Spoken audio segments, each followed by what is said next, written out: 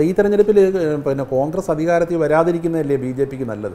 അങ്ങനെ പറയുന്നുണ്ട്. കാരണം കോൺഗ്രസ് മുക്ത ഭാരതമാണ് ബി ജെ പിയുടെ ലക്ഷ്യം. അതൊക്കെ കോൺഗ്രസ് മുക്ത ബി ജെ പിയുടെ വളർച്ചയ്ക്ക് നല്ലത് കോൺഗ്രസ് അധികാരത്തിൽ കോൺഗ്രസ് മുക്ത ഭാരതം ലീഗും ഉമ്മൻചാണ്ടിയും എല്ലാം കൂടി രമേശ് ചെന്നിത്തല എല്ലാം കൂടി ചേർന്നുണ്ടാക്കി രാഹുൽ ഗാന്ധി എല്ലാം കൂടി ചേർന്ന് ഉണ്ടായിക്കൊണ്ടിരിക്കുകയാണ് അന്നേരം ഞങ്ങൾ ഉണ്ടാക്കുന്നതല്ല അന്നേരം കോൺഗ്രസിനെ അധികാരത്തിൽ വരാതിരിക്കാനുള്ള ശ്രമമൊന്നും അല്ല അങ്ങനെയല്ല. ഞങ്ങൾ അധികാരത്തിൽ വരാനുള്ള ശ്രമമാണ് ഞങ്ങൾ നടത്തുന്നത്. അല്ലാതെ വേറെ ആരെങ്കിലും മാറ്റി നിർത്തി വേറെ ആരെങ്കിലും കൊണ്ടുവരുന്നത് ഞങ്ങൾക്ക് പറ്റില്ല ഞങ്ങളെ സംബന്ധിച്ച് ഞങ്ങൾ അധികാരത്തിൽ വരാൻ ശ്രമിക്കും. ഈ തെരഞ്ഞെടുപ്പിൽ ബി ജെ പി അധികാരത്തിൽ വരാൻ ഞാൻ പറഞ്ഞല്ലോ മുപ്പത് മുപ്പത്തഞ്ച് സീറ്റുകളിലേക്ക് ഞങ്ങൾ എത്തിക്കഴിഞ്ഞാൽ ഗവൺമെന്റ് ഉണ്ടാക്കാൻ ഞങ്ങൾക്ക് കഴിയും. അല്ല അതിനേക്കാൾ കൂടുതൽ ഇപ്പം ഞാൻ പറഞ്ഞ സീറ്റിനേക്കാൾ കൂടുതൽ മണ്ഡലങ്ങളിൽ ശക്തമായിട്ടുള്ള ത്രികോണ മത്സരമാണെന്ന് ഇവിടെ ഏത് കൊച്ചുകുട്ടിക്ക് പോലും അറിയുന്നതാണ്. ഇപ്പോൾ നിയമത്ത് ഇപ്പം കുമ്മനം രാജശേഖരനാണ് മത്സരിക്കുന്നത്.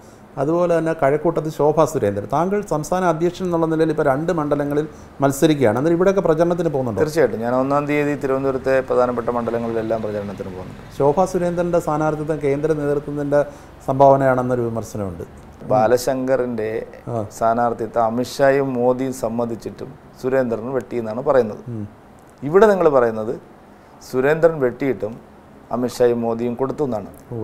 സത്യത്തിൽ ഈ പ്രചരണങ്ങൾക്കൊന്നും ഒരു അടിസ്ഥാനമില്ല കാരണം കേന്ദ്ര നേതൃത്വവും സംസ്ഥാന തെരഞ്ഞെടുപ്പ് കമ്മിറ്റിയും ഒരുമിച്ചിരുന്ന് കോർ ഗ്രൂപ്പും ഒരുമിച്ചിരുന്ന് കേന്ദ്ര തെരഞ്ഞെടുപ്പ് കമ്മിറ്റിയിൽ ഓരോ മണ്ഡലങ്ങളും വിശദമായി ചർച്ച ചെയ്തിട്ടാണ് തീരുമാനത്തിലെത്തുന്നത്. അപ്പോൾ അതിനെ പല രീതിയിൽ സൗകര്യപൂർവം വ്യാഖ്യാനിക്കുകയാണ്. ചെങ്ങന്നൂരിൽ ഒരു വ്യാഖ്യാനം കഴക്കൂട്ടത്ത് വേറൊരു വ്യാഖ്യാനം. അല്ലാതെ വേറെ രീതിയിലുള്ള ഇല്ല ഞാൻ അപ്പോഴേ ഞാൻ ആദ്യമേ തന്നെ പറഞ്ഞപ്പോൾ നിങ്ങളെല്ലാവരും എന്താ ആരും അത് വാർത്ത പോലും കൊടുത്തില്ലല്ലോ. ശോഭാ സുരേന്ദ്രൻ ശക്തമായിട്ട് മത്സര രംഗത്ത് ഉണ്ടാവുമെന്ന് ഞാൻ പറഞ്ഞില്ലേ? അപ്പം നിങ്ങൾ ആരും വാർത്ത പോലും കൊടുത്തില്ല. അപ്പോഴും നിങ്ങൾ ശോഭയ്ക്ക് സീറ്റ് കൊടുക്കാതിരിക്കാൻ വെള്ളപ്പള്ളി ഇറക്കുന്നു എന്നാണ് തുഷാർ വെള്ളപ്പള്ളി ഇറക്കുന്നു എന്നാണ് നിങ്ങൾ പറഞ്ഞത്. നോക്കൂ എത്ര നീചമായ പ്രചരണമാണ്. ഞങ്ങളുടെ സീറ്റാണത്.